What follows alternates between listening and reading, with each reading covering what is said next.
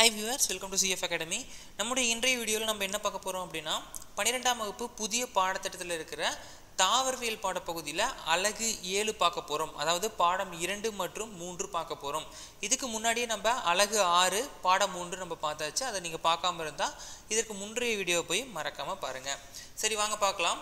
பாடம் இரண்டு பாரம்பரிய மரபியல். முதல் கேள்வி பாருங்கள் மரபுசாரா பாரம்பரிய வரிசையில் காணப்படும் மரபணுக்களை கொண்டது எது அப்படின்னு கேட்டிருக்காங்க. கரெக்டான ஆன்சர் மைட்டோகேண்ட்ரியா மற்றும் பசுங்கணிகங்கள் ஏஏ பிபி மரபணு வகையம் கொண்ட பட்டாணி தாவரத்தின் பல்வேறு வகையான கேமிட்களை கண்டறிய இதனுடன் கலப்புற செய்ய வேண்டிய தாவர மரபணு வகையானது எது அப்படின்னு சொல்லிட்டு கேட்டிருக்காங்க. ரெண்டு ஸ்மால் ஏ ரெண்டு ஸ்மால் பி அப்படிங்கிறது தான் சரியானது. மரபணு வகையம் ஏஏ பிபி சிசிஐ கொண்ட தாவரம் எத்தனை வகையான கேமிட்களை உருவாக்கும்? இரண்டு வகையான கேமிட்களை உருவாக்கக்கூடியது. பின்வருநோற்றுள் எது பல்கூட்டு பாரம்பரியத்திற்கு உதாரணமாகும்? மனிதர்களின் தோல் நிறம்.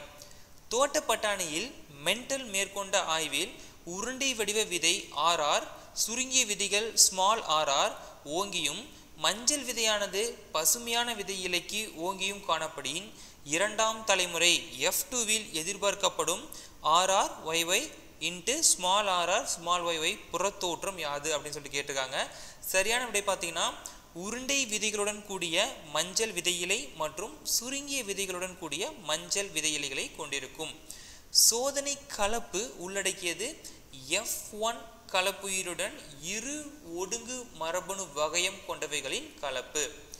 பட்டாணி தாவரத்தில் மஞ்சள் நிற விதைகள் பச்சை நிற விதைகளுக்கு ஓங்கு தன்மையுடனும் கலப்புயிரி மஞ்சள் நிற விதை தாவரம் பச்சை நிற விதை கொண்ட தாவரத்துடன் கலப்பு மேற்கொள்ளும் பட்சத்தில் மஞ்சள் மற்றும் பச்சை நிற விதைகள் கொண்ட தாவரங்கள் முதலாம் சந்ததியில் எவ்விகிதத்தில் கிடைக்கப்பெறும் அப்படின்னு சொல்லிட்டு கேட்டிருக்காங்க.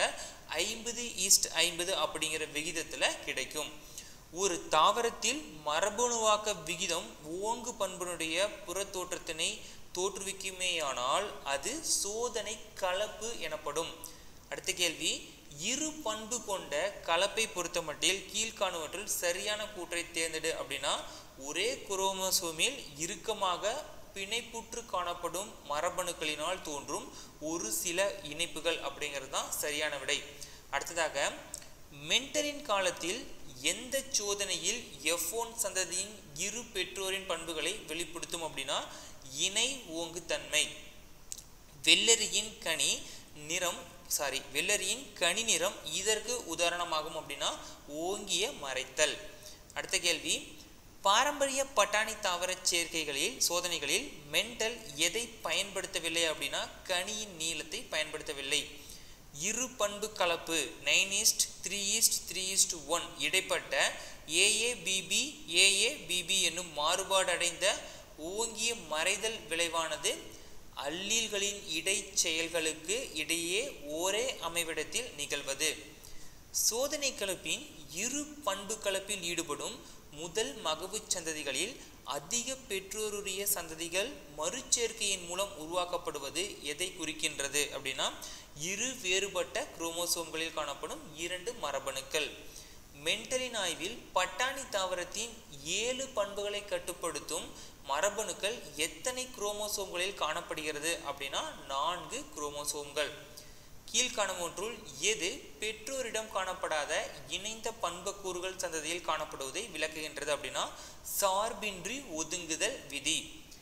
கேமிட்கள் எப்பொழுதும் கலப்புயிர்களாக இருப்பில்லை எனும் கூற்று தனித்து பிரிதல் விதை அப்படிங்கிறது தான் சரியான விடை.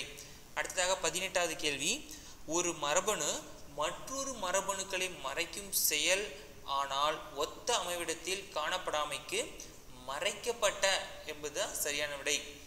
தூய கால்வழி நெட்டை தாவரங்கள் தூய கால்வழி குட்டை தாவரத்துடன் கலப்புற்று முதலாம் மகவு சந்ததியில் அதாவது எஃப் ஒன்ல அனைத்து தாவரங்களும் நெட்டையாகவே காணப்பட்டது எனில் அதே முதல் மகவுச்சந்தி தாவரங்களை தற்கலப்பு செய்யும் போது கிடைக்கும் நெட்டை மற்றும் குட்டை தாவரங்களின் விகிதம் த்ரீ ஈஸ்ட் ஒன் அப்படின்னா இது ஓங்குத்தன்மையுடையது.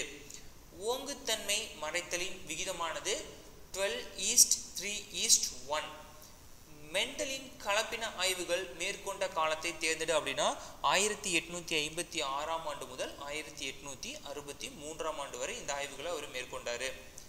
கீழ்காணும் பண்புகளுள் எவற்றை மென்டலின் பட்டாணி ஆய்வுகளில் கருத்தில் கொள்ளவில்லை அப்படின்னா சுரக்கும் வளரி அல்லது சுரக்க இயலாத வளரி இதை வந்து அவர் கருத்தில் கொள்ளவில்லை. மற்றபடி பார்த்தீங்கன்னா தண்டு நெட்டை அல்லது குட்டை விதை பச்சை அல்லது மஞ்சள் கனி உப்பிய அல்லது இறுகிய மற்ற மூணு பேராமீட்டர்ஸுமே அவர் கருத்தில் கண் கன்சிடர் பண்ணினாரு. அடுத்ததாக அழகு ஏழில் மரபியலில் பாடம் மூன்று குரோமோசோம் அடிப்படையிலான பாரம்பரியம் அப்படிங்கிறதுல முதல் கேள்வி பார்க்கலாம். ஒரு அயல் அருமடியும் கொண்டிருப்பது மூன்று வேறுபட்ட மரபணு தொகையத்தின் இரண்டு நகல்கள். ஏ மற்றும் பி என்ற மரபணுக்கள் குரோமோசோமின் மீது பத்து சென்டிமீட்டர் தொலைவில் அமைந்துள்ளது. ஒரு மாற்று பண்பு கருமுட்டை ஏஏ பார் ஏபி என்பதோடு ஏபி பார் ஏபியை சோதனை கலப்பு செய்தால் மொத்தம் நூறு வழித்தோன்றல்களில் ஒவ்வொரு வழித்தோன்றல்களிலும் எத்தனை இனங்களை எதிர்பார்க்கலாம் அப்படின்னா நாற்பத்தி அஞ்சு கேப்ஸ் லெட்டர் ஏபி இனங்களையும் நாற்பத்தி அஞ்சு ஸ்மால் லெட்டர் ஏபி இனங்களையும் அஞ்சு caps letter A small letter B இனங்களையும் அஞ்சு small letter A caps letter B இனங்களையும் நம்ம எதிர்பார்க்கலாம். அடுத்ததாக மூன்றாவது கேள்வி பட்டியல் ஒன்னை பட்டியல் இரண்டுடன் பொறுத்துக. முதல் பாருங்க சரியான விடை பார்த்தீங்கன்னா இரண்டு மூன்று ஒன்று நான்கு. அதாவது இரு மடியத்துடன் ஒரு இணை குரோமோசோம்கள் அதிகமாக காணப்படுவது ட்ரைசோமி. இரு மடியத்துடன் ஒரு குரோமோசோம் அதிகமாக காணப்படுவது மோனோசோமி. இரு மடியத்தில் ஒரு குரோமோசோம் குறைவாக காணப்படுவது டெட்ராசோமி. இரு மடியத்திலிருந்து இரண்டு தனித்தனி குரோமோசோம் குறைவாக காணப்படுவது என்பது இரட்டை மானோசோமி அப்படின்னு சொல்லிட்டு அழைக்கப்படுது. அடுத்ததாக நான்காவது கேள்வி பின்வரும் எந்த கூற்றுகள் சரியானவை அப்படின்னா கூற்று மூன்று மற்றும் நான்கு சரியானது. அதாவது முழுமையற்ற பிணைப்பில் இரண்டு பிணைந்த மரபணுக்கள் பிரிவடையலாம் முழுமையான பிணைப்பில் குறுக்கேற்றம் நடைபெறுவதில்லை அப்படிங்கிற இரண்டும் சரியானது. முப்புள்ளி சோதனை கலப்பின் மூலம் துல்லியமான மரபணு வரைபடம் வரைய முடியும். ஏனெனில் இதன் அதிகரிப்பால் மறு கூட்டுணைவு நிகழ்விரைவு சாத்தியமாகின்றது. அடுத்ததாக ஆறாவது கேள்வி. மக்காச்சோளத்தில் முழுமையற்ற பிணைப்பின் காரணமாக பெற்றோர் மற்றும் மறு கூட்டுணைவு வகைகளின் விகிதங்கள் தொண்ணூற்றி ஆறு புள்ளி நாலு ஈஸ்ட் மூணு புள்ளி ஆறு அப்படிங்கிறது சரியானது. ஒரே குரோமோசோமில் எல்ஹெச் என்ற மரபணுக்கள் அமைந்துள்ளது.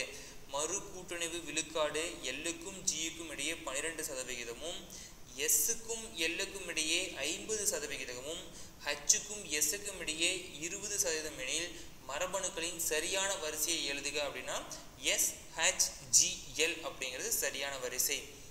புள்ளி சடுதி மாற்றத்தால் டிஎன்ஏவின் வரிசையில் ஏற்படும் ஒத்த பதிலீடு ஒத்த பதிலீடு வேறுபட்ட பதிலீடு வேறுபட்ட பதிலீடு முறையே A gives G C gives T C gives G மற்றும் டி கிவ்ஸ் ஏ அப்படிங்கிறது சரியான விடை.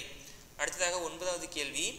ஒரு செல்லில் ஒரு மடிய குரோமோசோமின் எண்ணிக்கை பதினெட்டு எனில் இரட்டை மானோசோமி மற்றும் ட்ரைசோமி நிலையில் குரோமோசோம்களின் எண்ணிக்கை முப்பத்தி நான்கு மற்றும் முப்பத்தி ஐந்து. மரபுக்குரியன் ஏஜிசி ஆனது ஏஜிஏவாக மாற்றமடையும் நிகழ்வானது தவறுதலாக பொருள்படும் சடுதி மாற்றம். கூற்று காமா கதிர்கள் பொதுவாக கோ கோதுமை வகைகளில் சடுதி மாற்றத்தை தூண்ட பயன்படுகின்றது. ஏனெனில் அணுவிலிருந்து வரும் எலக்ட்ரான்களை அயனியாக்க இயலாத குறைவான ஆற்றலை எடுத்துக்கொள்கிறது. கூற்று தான் சரி காரணம் என்று கூற்றுக்கு சரியான விளக்கம் கிடையாது. அடுத்தாக பனிரெண்டு மறு கூட்டணிவு நிகழ்விரைவு ஜீரோ புள்ளி ஜீரோ ஒன்பது என இருந்தால் ஏ மற்றும் பி என்ற இரு அல்லீல்களை பிரிக்கும் வரைபட அலகு எதுவாக இருக்கும்? சரியான விடை ஒன்பது சென்டிமீட்டர். கீழ்கண்ட எக்குரியன்களின் பயன்பாடுகள் அல்லது இணையான ஒரு குறிப்பிட்ட அமினோ அமில சமிக்கையை குறிக்கின்றது அப்படின்னா ஏயுஜி ஏசிஜி தொடக்க மெத்தியோனைன் படியெடுத்தலின் போது ஈன்ட்ரான்களை வெளியேற்றியும் எக்ஸான்களை பிணைக்கும் இச்செயலாக்கத்திற்கு என்ன பெயர் அப்படின்னா இயைத்தல் அப்படிங்கிறது சரியான விடை. அடுத்ததாக பதினைந்தாவது கேள்வி. டிஎன்ஏ ஒரு இழையில் உள்ள நைட்ரஜன் கார தொடர் வரிசை ஏடிசிடிஜியின் நிரப்பு ஆர்என்ஏ இலை தொடர் வரிசையின் காரங்கள் யாது அப்படின்னா யுஏ ஜிஏசி நியூக்ளியோபிளாசத்தில் காணப்படும் ஆர்என்ஏ பாலிமரேஸ் மூனை நீக்குவதால் எதன் உற்பத்தி பாதிக்கின்றது அப்படின்னா டிஆர்என்ஏவோட உற்பத்தி பாதிக்கப்படுது டிஎன்ஏவின் ஓரிலையில் டிஎன்ஏ சார்ந்த ஆர்என்ஏ பாலிமரேஸ் நூதி படியெடுத்தலின் செயலூக்கியாக காணப்படும் இலையின் பெயர் என்ன அப்படின்னா வார்ப்பு இலை. கீழ்காண்பவைகளில் எது மரபிய செய்தியின் சரியான வரிசையை குறிக்கின்றது அப்படின்னா டிஎன்ஏ ஆர்என்ஏ புரதம் அப்படிங்கிறது சரியான விடை. தொடக்க குறியன் என்பது ஏயுஜி புரத உற்பத்தியில் ஈடுபடும் மெய்யுட்கரு மரபணுவில் உள்ள எவ்விரண்டு கார தொடர் வரிசை முக்கிய பங்காற்றுகிறது அப்படின்னா ஆ மற்றும் ஆ இரண்டுமே.